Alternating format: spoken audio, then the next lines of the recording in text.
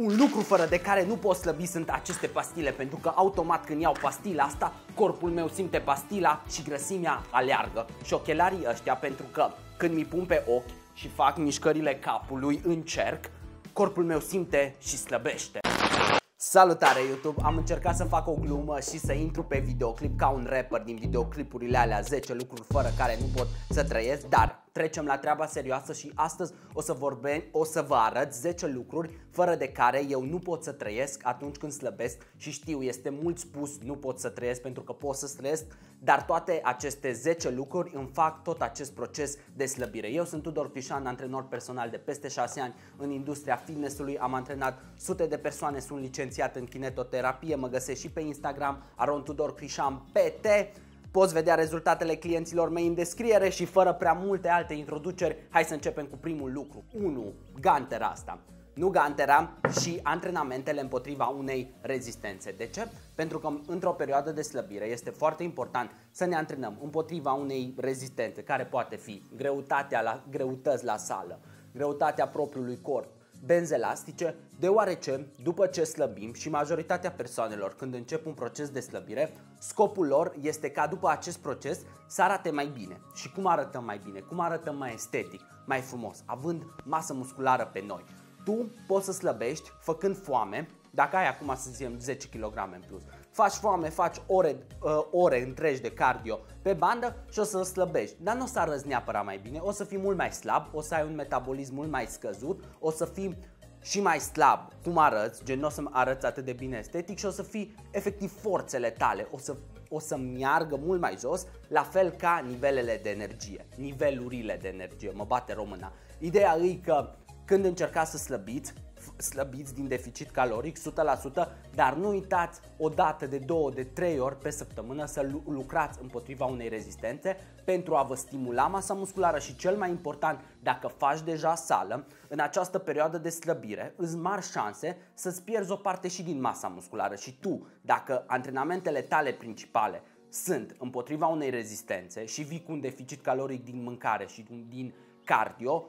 îți șanse mult mai mari să-ți păstrezi masa musculară acumulată dintr-o perioadă în care ai pus kilograme pe tine. Doilea lucru este această foaie care reprezintă planul meu alimentar actual de 2500 de calorii și zic că această foaie este foarte importantă în tot, tot acest proces de slăbire, deoarece eu mi-am calculat în 2500 de calorii 4 mese și îmi țin foaia în bucătărie și nu mai îmi dau timp să mă gândesc, bă, oare ce o să mănânc, nu mai pierd timpul cu calculatul caloriilor, tot timpul pe item trec, să trec ce mănânc, ce nu mănânc, așa știu, știu ce trebuie să-mi iau la cumpărături, mi mult mai ușor să mă țin de plan și mare sfat și când sunteți într-un proces de slăbire, luați-vă alimentele cu care vă faceți un plan alimentar de genul să le aveți în casă și numai alea, pentru că o să vă mai apuce craving-urile și dacă aveți ciocolată în casă, îți șanse mult mai mari să o mâncați decât dacă trebuie să mergeți până la magazin, pentru că vi poftă pe moment, după care te gândești, bă, stai că nu mi chiar atât de poftă,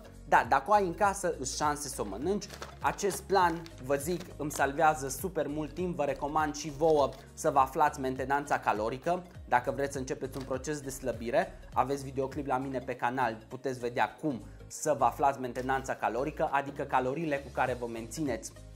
greutatea actuală și de acolo să faceți un deficit caloric de 200-300 de calorii la început din alimentație și în acele, să zicem că o slăbiți cu 2000 de calorii pe lună. Vă faceți un plan, vă scrieți 4 mese, e mult mai plictisitor, da, știu if your feed your macros și să-ți calculezi în fiecare zi mult mai flexibil, dar așa credeți-mă că dacă ajungeți după vreo primele 10 zile mai grele, dar după aia ca un roboțel, te ții de planul ăsta, știi ce ai de mâncat și accepti 6-8 săptămâni că o să fie mai nasol, așa fac și gândiți-vă oamenii care slăbesc cel mai eficient și ajung la un body fat foarte scăzut, culturiștii. Ei urmează un plan alimentar strict. Dacă ei o fac, învățăm și noi de la ei, părerea mea, într-o perioadă de slăbire să faceți asta și după aia să vă dați mult mai multă libertate când nu sunteți la slăbire, cu ce mese vreți voi și da, puteți mânca și mai 3. Îl avem pe cățelul meu Tor care e destul de speriat acum că l-am adus aici pe măsuțător. Nu o să te țin mult, stai că trebuie să mă văd și eu la cameră. Ideea e că cățelul meu în toată această perioadă de slăbire mă ajută să-mi fac cei 15.000 de pași pe zi. Fără el, vă zic sincer, cred că m-aș plimba mult mai puțin. Hai jos! A few moments later. Pașii sunt cea mai ușoară formă de cardio pe care o poți implementa într-o perioadă de slăbire și nu numai. Cardio este foarte important pentru sănătatea cardiovasculară, de,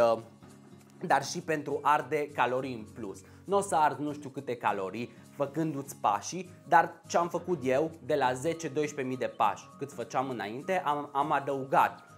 2-3 mii de pași când am început perioada de slăbire și a contat să slăbesc primele kilograme pe cântar. La fel, vă zic, dacă n-aveți chef să vă plimbați, luați-vă un cățel și o să fiți obligați să faceți mai mulți pași, pentru că dacă nu, o să trebuiască să curățați după el pișul și caca din casă și vă zic că mai bine ne plimbăm decât să curățăm pișul și rahat.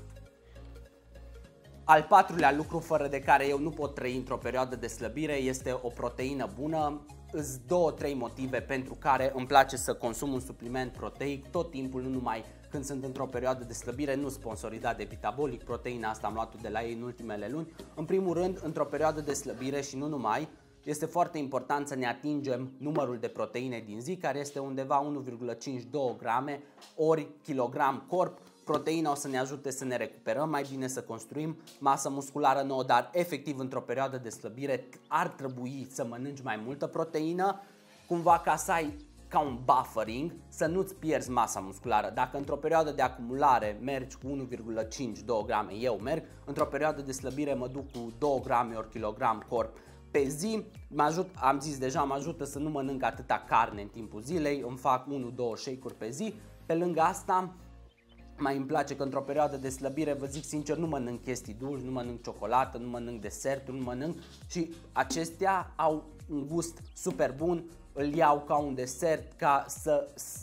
să și mă bucur de unele mese pe care le mănânc, de toate mă bucur, dar să aibă gustul mult mai bun, apropiat de ceva dulce, de o prăjitură. 5. Căștile. Căștile astea mă ajută la fel ca Thor să-mi fac pașii. Îmi place de fiecare dată când mă plimb să ascult un podcast bun. Momentan îmi place foarte mult să ascult Modern Wisdom de la Chris Williamson sau ceva de genul, cheamă, vi-l recomand și The Diary of a CEO și Joe Rogan. Sunt podcasturile mele preferate și de fiecare dată când ies la plimbare, nici nu-mi dau seama, fac 8-9 mii de pași, îmi pun un podcast bun, învăț chestii, fac și cardio, îmi și plimb cățelul, numai, numai beneficii și la fel căștile, toată lumea știe că e mult mai nasol să te antrenezi fără muzică la antrenamente și chiar câteodată când am nevoie de extra motivație, chiar ești într-o, gândește-te că ești într-o perioadă de slăbire, mănânci mai puține calorii, ai mai puțină energie. Bă, îți vine piesa aia bună, te motivează să tragi mai tare la un set, să te ții de plan. Dacă faci cardio, gen să alergi, luați-vă căști și folosiți-le nu, într-o perioadă de slăbire. Al șaselea lucru fără de care eu nu pot trăi într-o perioadă de slăbire sunt acești venci. Momentan sunt papucii mei preferați și îmi plac foarte, foarte mult la antrenamentele cu greutăți pentru că îmi oferă o bază foarte stabilă și având o bază foarte stabilă de lucru, corpul meu exercită forță eficient și pot să dau un randament bun la exercițiile pe care le fac. Mă mai antrenam înainte în Converse și am mai avut și Nike Metcon, dar până acum ăștia sunt preferații mei și ca stabilitate și, și efectiv cum arată cu outfiturile din sală. Singurul lucru, dacă îi port foarte mult, cum au talp așa mai tare, nu sunt cei mai comozi, de aia vă recomand că pentru pași, pentru cardio, vă luați ceva Adidas cu Adidas de la Adidas cu spumă de aia Ultra Boost și eu îi folosesc pentru pași și cardio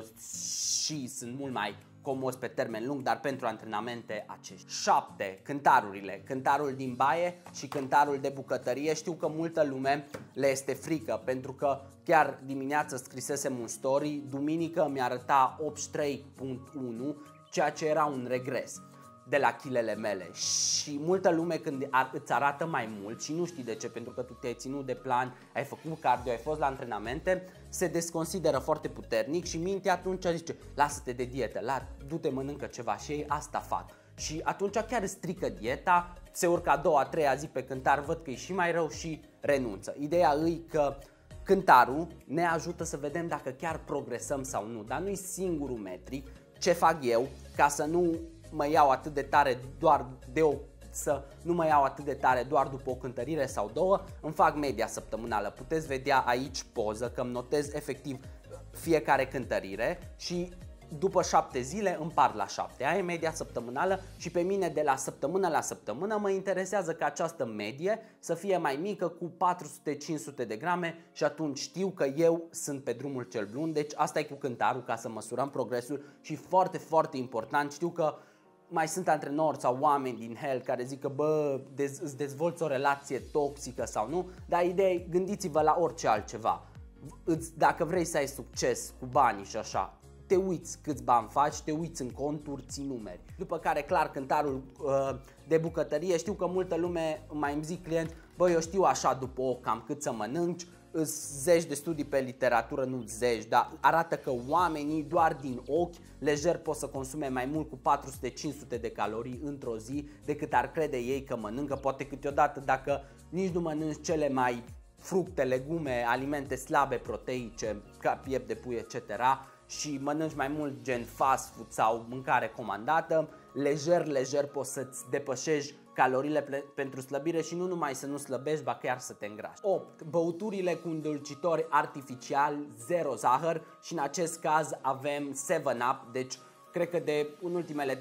zile am băut în fiecare zi câte unul de ăsta, bă, fără calorii, am videoclip la mine pe canal cu băuturile zero calorii, nu o să-ți facă nimic, ba, ba chiar am videoclip la mine pe canal în care explic și un, arăt un studiu în care oameni au slăbit cu Coca-Cola zero calorii, uh, față de oameni, au slăbit mai mult față de oameni care au băut apă pe, același, pe aceeași perioadă de timp. Ideea e că pe mine mă ajută foarte mult, mai ales cum îs carbogazoase, îmi, îmi, îmi țin și mai bine de foame, îmi umplu, îmi umplu mai bine stomacul și e și ceva bun la gust. Na, acum, dacă ți este frică și ești joy ce o să-mi facă și așa și îți creează un stres mental, nu le bea, dar îți zic sincer, eu am băut în ultimele 5 zile câte unul pe zi și am slăbit un kilogram și de, pe partea de slăbire nu o să te afecteze, ba chiar te ajută și la fel pentru toți oamenii care zic că îți provoacă cancer și nu știu ce lucru, oamenii ăia nu o intrat să se uite pe literatură sau să uita pe Facebook și au văzut de la cineva că bă, îți strele și nu le-au dat un context pentru că ar trebui să bei undeva la 18, 19 doze de genul pe zi, nu știu câte luni la rând, ca să ai, să înceapă să aibă un efect negativ asupra sănătății tale, dar tu știi ce faci mai bine cu ea, eu zic doar ce folosesc. 9. Nu pot să trăiesc în acest proces de slăbire fără camera mea mai mică de vlogging pentru că tot acest proces am început să-l fac ok, o să mă ajute să slăbesc kilo, niște kilograme, nu mi era neapărat, dar tot acest proces vreau să-l fac ca să doc- să-l documentez și să inspir și alte persoane, pe voi de pe YouTube, pe clienții mei, să vadă că pro- un proces de slăbire făcut ca la carte, cu un plan alimentar bun, cu un program de antrenament, gândit, cu un deficit de la săptămână la săptămână fără niciun lucru extrem și dat un timp de 8 săptămâni cum mi-am dat eu, poate să fie realizabil, nu este imposibil și să știe efectiv lumea cum să-l facă și voi mă motivați în tot acest proces să filmez videoclipurile, să fac content și tot acest content îl fac cu cameră, cu camera cu care mă filmez acum, cu această cameră de vlog, deci este un lucru esențial pentru mine în procesul de slăbire. 10. Ultimele, ultimele lucruri cu care eu slăbesc și mă ajută foarte mult sunt alimente cu o densitate calorică mică și cu un volum mare, ca mazăria, fructele de pădure înghețate, păstăile. Aceste alimente au un volum mare, nu o să mă mai repet, pe românește mi oferă o sațietate foarte mare meselor pe care le mănânc, fără să mi ofere multe calorii. Uh, fructele de pădure îmi place să mi le pun în fulgi de ovăz, acestea merg foarte bine cu orez sau cu paste și într-o perioadă de slăbire vă recomand să mergeți cât mai mult înspre alimente de acest gen. La fel aici ar mai intra și proteinele slabe unde îi albușul de ou, carnea de piept de pui, tonul, uh, pudra proteică, faceți-vă o dietă predominant să fie cu multe legume, fructe, proteine slabe, moderat în carbohidrați, moderat în grăsimi și o să aveți succes la slăbire. Mă mai văd de lucrurile astea. Acestea au fost toate cele 10 lucruri pe care pe pe mine mă ajută să slăbesc și să am o perioadă de slăbire eficientă și simplă de urmat. Dacă vrei să vezi mai multe despre mine, mă găsești și pe Instagram Aron Tudor Crișan pe tem, dă un like acestui videoclip, abonează-te la canal. Noi ne vedem la următorul. Pa!